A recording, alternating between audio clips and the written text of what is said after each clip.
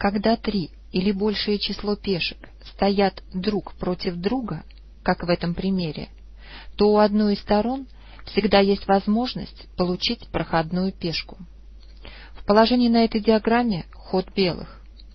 Для получения проходной пешки белым нужно продвинуть среднюю из своих трех пешек, и они делают ход на поле b6. Черная пешка А бьет ее. Белые, в свою очередь, выдвигают пешку С. Черные пешкой Б бьют ее. Белые делают ход пешкой А на поле А6.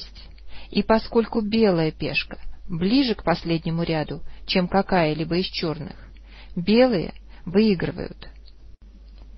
Допустим теперь, что ход черных.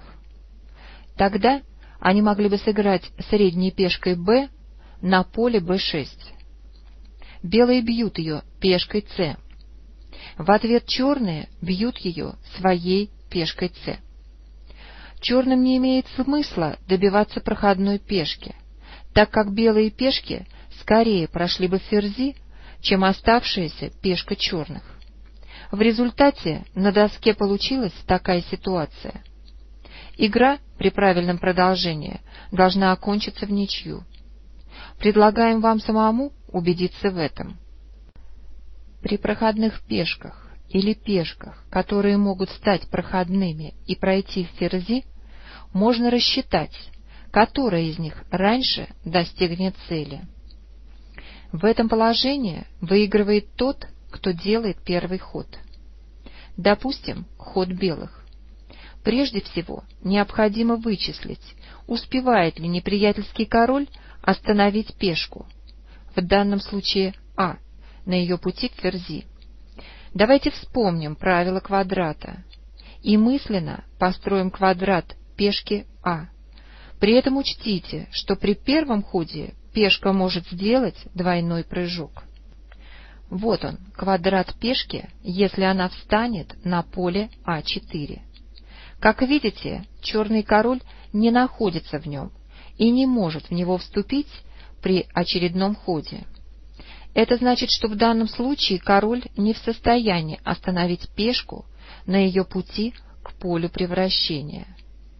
То же самое касается и пешки h7.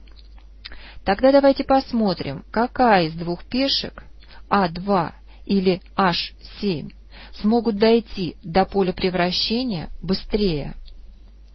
В данном случае время, необходимое для обеих сторон, равно, но пешка, которая первой вступит на восьмое поле и станет ферзем, получит возможность побить неприятельскую пешку, когда та тоже превратится в ферзя. Давайте посмотрим, как это произойдет. Пешка белых делает двойной ход на поле А4. Черная Аналогичный ход на поле h5. Белая пешка сделала ход на поле а5, и черная пошла на поле h4. Пока все действия соперников симметричны. Но путь белой пешки преграждает пешка а7. На помощь ей приходит пешка b5 и делает ход на поле b6. Черная бьет ее, Теперь нужен маленький расчет.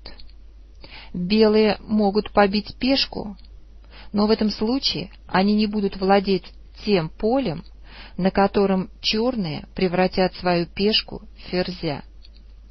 Поэтому белые играют иначе. Вернем пешки на место. Теперь пешки продвигаются каждая по своей вертикали. Белая становится ферзем на один шаг раньше, и белые выигрывают.